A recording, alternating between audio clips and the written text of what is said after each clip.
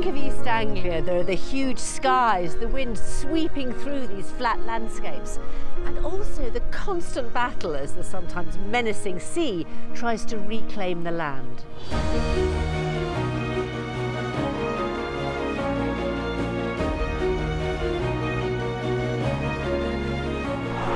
This part of the country can seem remote and mysterious.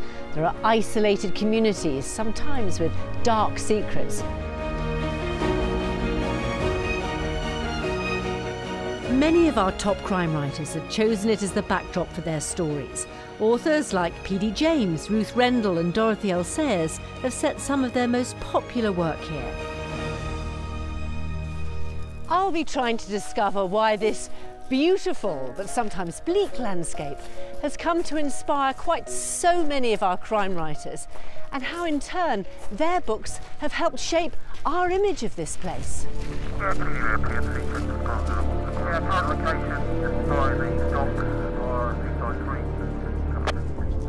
That's not a real crime scene, by the way, just a bit of dramatic license for an area which in real life has a very low crime rate, an extraordinary number of fictional corpses have washed up on these shores. Our journey spans more than 80 years and starts in the flat fenlands of the 1930s.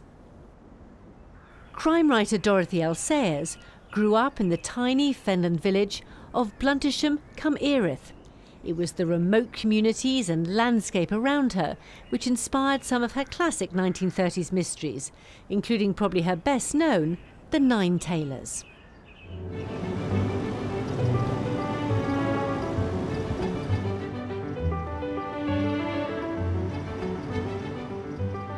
I've always had a bit of a crush on Dorothy L. Sayers, suave, aristocratic detective Lord Peter Wimsey.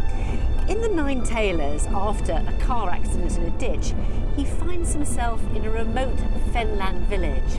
This is a story of an unsolved crime and its violent unravelling two decades later. Mile after mile, the flat road reeled away behind them. Here a windmill, there a solitary farmhouse, there a row of poplars strung along the edge of a reed grown dike. And as they went, the land flattened more and more, if a flatter flatness were possible.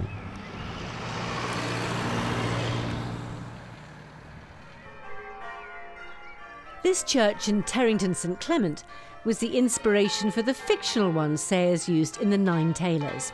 The mystery involves the theft of a valuable emerald necklace. A central part of the plot involves bell ringing. A secret message and clue to the identity of the murderer is hidden among the bells.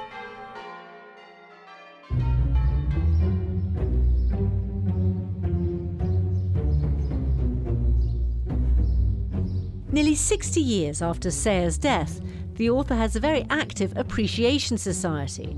They regularly meet and visit locations featured in her books.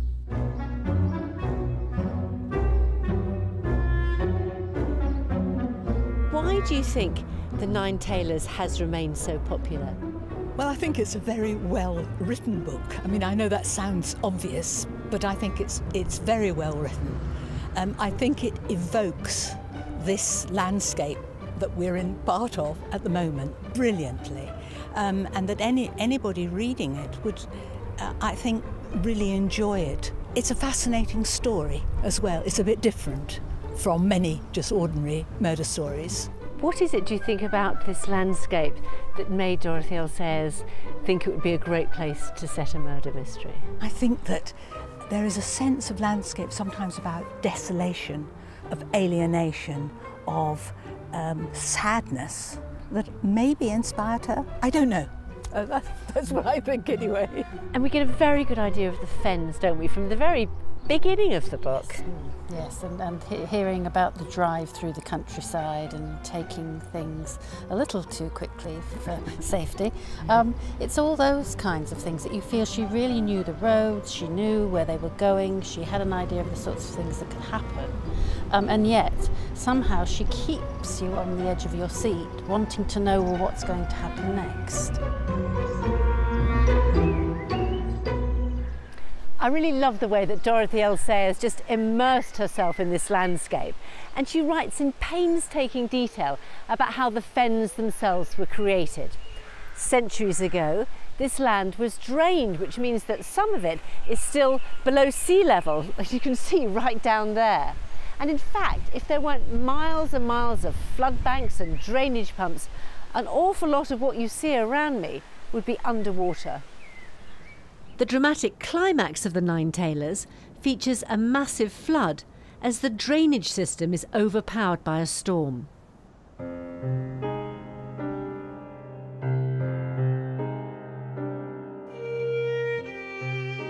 Just a few years after Sayers wrote the book, life would tragically mimic art. In 1953, a huge tidal surge left much of this part of the country underwater, and more than 100 people died.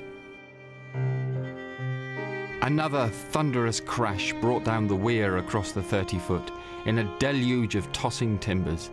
Beams and barges were whirled together like straws, and a great spout of water raged over the bank and flung itself across the road.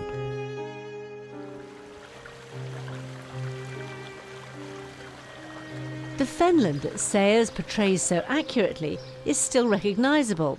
Today, it's the responsibility of the Environment Agency to manage this man-made landscape. The birds and the wildflowers here are just fantastic.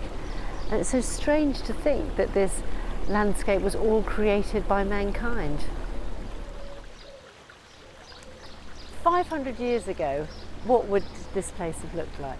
Well, the area that we're in now would probably been pretty much underwater continuously. Um, wouldn't, we wouldn't have the banks and the wildlife that we see here today. So it'd be part of the sea?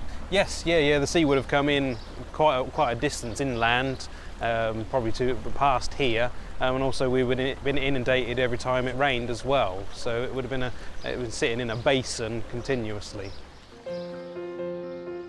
The constant threat of flooding adds tension throughout the book. Sayers gives the landscape of the fens its own personality. In its own limited, austere, and almost grudging fashion, the fen acknowledged the return of the sun. The floods withdrew from the pasture, the wheat lifted its pale green spears more sturdily from the black soil. The most successful crime novelists recognise that landscape and location are key in any successful book, perhaps more so in crime fiction than any other genre. This is the University of East Anglia, home to the world renowned creative writing department, where the crime authors of tomorrow are learning their craft. Had, for instance, Dorothy L. Sayers not have been born in the Fens, had her father not been a rural rector, had, say, she been born in London or Edinburgh, what might have happened? And I, I, I would suspect, actually, she would have still written those sorts of um, crime novels, but with completely different settings. I think in crime it's because the setting is intrinsically linked, because it determines what the crime is and also who's going to investigate it, whether there is a detective or you know whether it's a kind of a murder or just a sort of petty theft, you know, kind of family drama. So it doesn't matter how civilized, how ordered the place is. I mean, a crime will change the setting in itself. Of all literary genres, setting, landscape, environment are the most important within the crime genre. Why? Because they determine the mood, the tone of a novel. Many writers, many critics think of setting, landscape, environment in relation to, to the genre as being another character. It is as important as that. Indeed, in many ways, it is more important than the character. It is the most determining, controlling factor within the genre. Henry Sutton not only teaches creative writing, He's also a successful crime writer himself. And, like Dorothy L. Sayers, he chooses to set his stories in the place where he grew up. Murder comes in all shapes and sizes. Over the years, I've incorporated many other areas of criminal behaviour too racketeering, blackmail, extortion, fraud, arson, theft, kidnapping, and so on.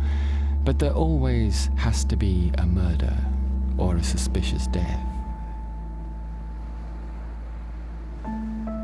My Criminal World is set in the fictional seaside town of Kingsmouth. In reality, it's based on the Norfolk holiday resort of Great Yarmouth.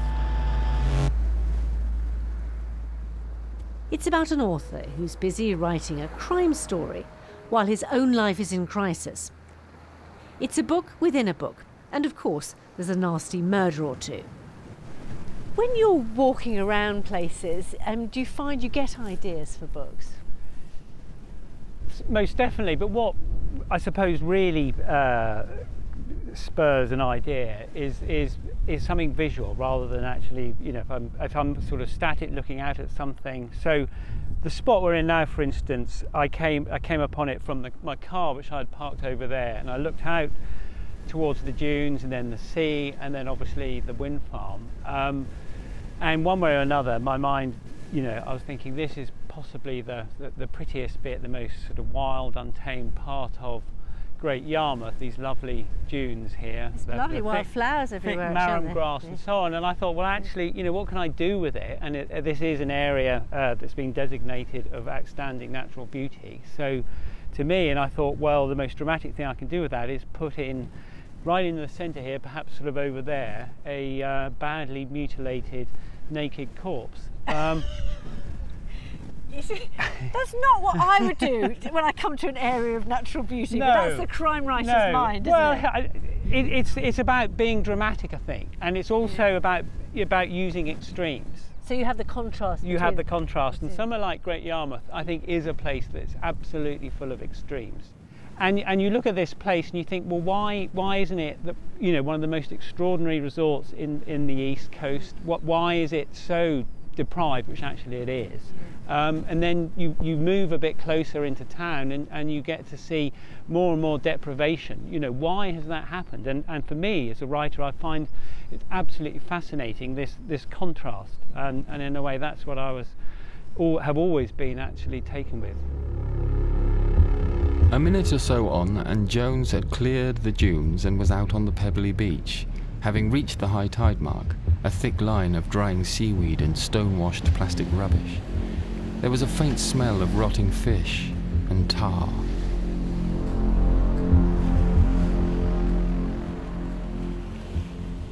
Why is it you think that East Anglia has become a kind of mecca for crime writers?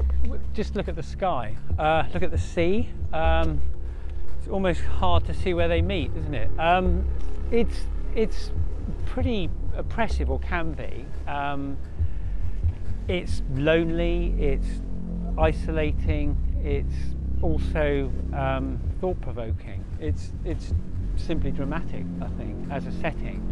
And I suppose in a way it's slightly similar to the kind of landscapes that we see in Scandinavian yeah. crime programs yeah. and read I mean, about in novels. We just, you know, just a short way across the North Sea, they are our kindred crime spirits. There's no doubt about that. This, to me, feels like Henning Mankell, it feels like, or even the bridge, the killing. It, it, there is a real uh, closeness, a kindred um, sense of crime space.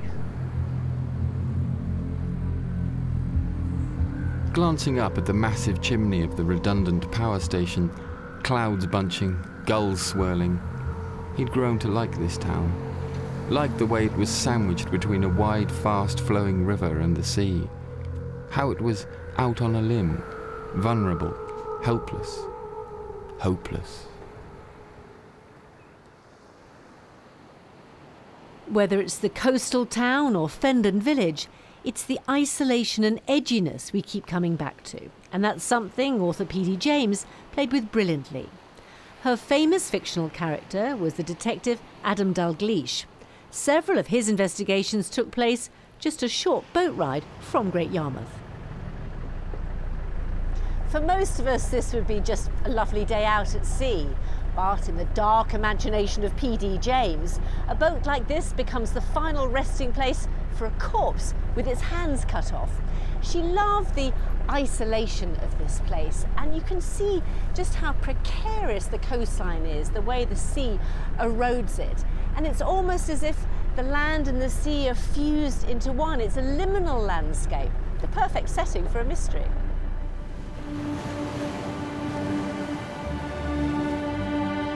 Storms are common here, and it's not unusual for homes to be swept into the sea. This natural erosion and its impact on the lives of people who live here feature heavily in P.D. James's book Unnatural Causes. It was hard to believe, thought Dalgleish, that one was looking at a battlefield where for nearly nine centuries that land had waged its losing fight against the sea. Hard to realise that under that deceptive calm of veined water lay the nine drowned churches of old Dunwich. Dunwich was a real place, and what's left of it lies just a few feet below this very water. 800 years ago, it was the capital of East Anglia and an international port, at its height rivaling 14th century London. But violent storms and erosion have swept it all away. Not so far from here is the area of Minsmere, which you may of course know from Springwatch as an extremely peaceful wildlife reserve, not in the imagination of P.D. James. She changed the name to Monksmere Head, and a murderer's on the loose amongst the small community of writers which live there. The setting for me is tremendously important, and nearly always the book begins with the setting. W.H. Auden said that it should be the great good place. He wanted contrast between the setting and the murder. He said it should shock in the same way as when a dog makes a mess on the drawing room carpet. That was the words he used. Nothing on this coast is static, and James uses this to create a sense of foreboding. Sometimes the drowned graveyards yield up bones onto the beach, a macabre idea which rather appealed to P.D. James. The closed, remote communities you get in this part of the world provided rich material for many of her books. The wild coast of Suffolk was the perfect setting. Here was nothing but sea, sky, and marshland.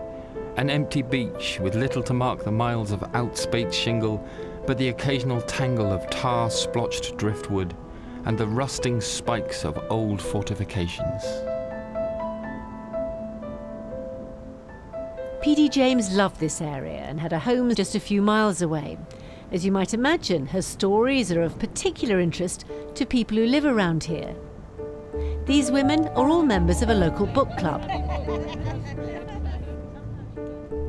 So how well do you think that P.D. James described this, this landscape, this part of the world, which you must know very well? It's um, part of the description of the atmosphere is very good, but the actual locations aren't necessarily the same. And maybe it's because um, there's a lot of erosion around here, and a lot of the cliffs have actually fallen into the sea. So things which might have been the headland perhaps aren't the headland anymore. Why do you think it is that so many crime writers have been attracted to this part of the world? Well, I think we're lucky actually for having such a lot of variety. I mean, in just this strip of coast, we've got marshes, we've got cliff top, heath, we've got the bird reserve, we've got the forests, we've got it, it, it's just amazing in terms of the difference. And there are lots of places where you know one could actually do a murder and hide somebody.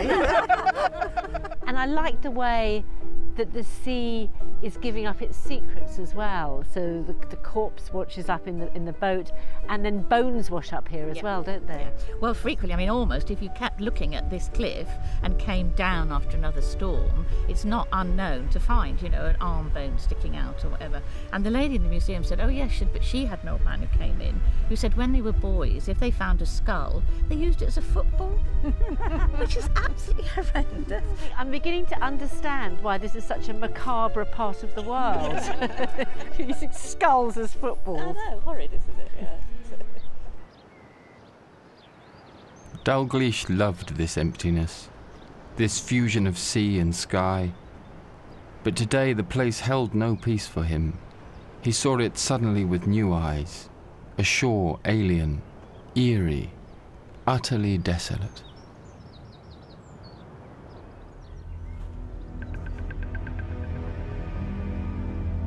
P.D. James couldn't resist tapping into the dark underbelly beneath the sunny, idyllic veneer of the Suffolk coastline. She died in 2014. But the murderous character of the East Anglian landscape is being kept alive by two of today's most successful crime writers. Um, yes, please. What's your name? Judy. Judy. So with a Y. It's the Felixstowe Book Festival, and a husband and wife crime writing team are here to talk about and sign their new book. The couple, who live in Suffolk, have co written more than 20 bestsellers under the pen name Nicci French. I think I think Saturday is quite. There's a kind of darkness. You know, you, feel, you have to feel the storm is gathering. Really. One of the most successful books is Losing You. The story is set among an isolated community living on a fictional island called Sandling. In reality, it's actually Mersea Island off the Essex coast. Here on Sandling Island, it was all horizon the level land, the mudflats, the miles of marshes, the saltings, the grey, wrinkled sea. The first book that we wrote that was based in Suffolk was before we actually moved here. And maybe was one of the reasons we came here because we explored it for this book and got to mm. know it and then came here. But it's certainly true that there are certain books we've written which are so located in a particular environment, kind of the coastal Suffolk, the kind of mud flats and birds crying out and shingle and grey seas and that there are certain thrillers we write which need a kind of haunted empty landscape. I think there's something about living, looking out to sea rather than back inland. So people who kind of live looking away from where they're living, kind of people who live on the edge. And also it, it feels it's full of forgotten places. That, that feels quite a kind of fruitful area for crime fiction. And also, you know, the area in the areas that we have placed books around here, it's not golden beaches and blue skies and tourists. It's like mm. the kind of a lot of it's the kind of unpicturesque, the deserted, bleak, desolate. bleak, yeah, the yeah. wind blowing yeah. in. In the story, the Landry family are about to go on holiday when teenage daughter Charlie goes missing. Told over a period of just a day, it's about Mum Nina's frantic search to discover what's happened to her daughter. Once again, it's the edginess of this flat, watery landscape that creates tension. The last time I'd walked past the hulks, it had been in early October. I remembered it clearly. The tide had been low then. The hulks lay in a massed huddle on the mud. There'd been dozens of noisy, cheerful gulls perched on the smashed decks. Now the tide was high, and vicious little waves riffled round the hulls. For ages, we had an idea of writing a book about a mother losing her daughter, the, a kind of basic story of a parent's worst nightmare, but we couldn't think of how to turn it into a really different kind of thriller until actually until we came to came to Mersea Island.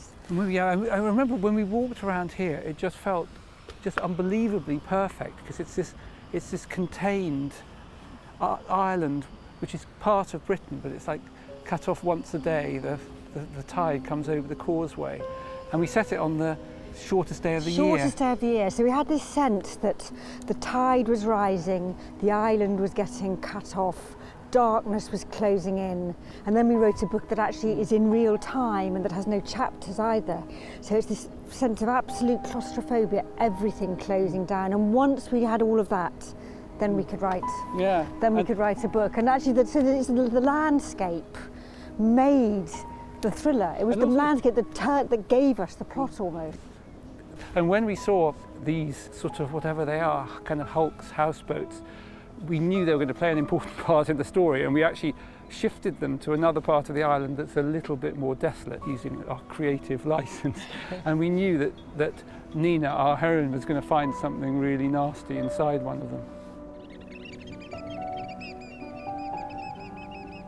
I used to love Sandling Island at night the silence, the slap and murmur of water, the smell of salt and mud, the chime of halyards and the forlorn cry of birds. Now it terrified me. Throughout their book, the couple take inspiration from what they observed walking around Mersea Island. Sometimes the most unlikely things are used in a very dramatic way as Mum Nina continues searching for her daughter. It was, I think it was about halfway through the book, we had this crucial scene at the beach hut. And what we, what we really wanted to do is we wanted to take the idea of Nina being full of in, rising wildness and breaking lots of boundaries. Mm. And so we took these rather pretty little domestic spaces in a public, on a public place and we have her smashing into them with a mallet. She does them one by one at night time, just going through splintering open the doors. One of the great things about writing a book rather than making a film is you can actually, you're free just to find this lovely landmark here and just smash them one after another, which I think would be a, would be a bit of a problem if you were actually going to film it. But it was rather, it was rather satisfying as yeah. she broke taboo after taboo. Yeah. And there's this sense that, you know, behind these lovely little English doors, there might be a dead body or someone being kept, kept captive. Yes, yes. Something else the French spotted while exploring Mersea Island was this derelict Second World War observation post. It became the setting for the book's dramatic ending. The character Nina finally discovers what's happened to her kidnapped daughter. Um, I remember we actually came on this beach on the day where the story was set. And we had this we had this sense that if the if the tide was rising and the island was getting cut off and time was running out, we had to end it at a place where it mattered that the tide was rising, where it was just kind of crucial that you know every inch the water crept up was mm. an inch more dangerous. And also there was I think we faced one of the problems we faced is on a kind of really little island and someone has disappeared where can you actually hide someone on a little island by the, by the sea on the beach? It may even have been this particular lump of concrete, which I think well, is the remains of, There are pillboxes all the way around the island, so there was, we probably envisaged a more intact pillbox, but then placed And that seemed here. perfect, is inside a pillbox with the tide coming up, gradually filling with water. It just, that just felt like the kind of, and that was a total example, I think, of how the kind of story and place and character kind of play off each other. A boggy path that led to the treacherous marshes and Borrow dikes. To the left, the road ran along the low subsiding cliffs, then turned inland again, away from the cliffs, the dikes, the land that slid and melted into silted mud and salty water, and back towards the causeway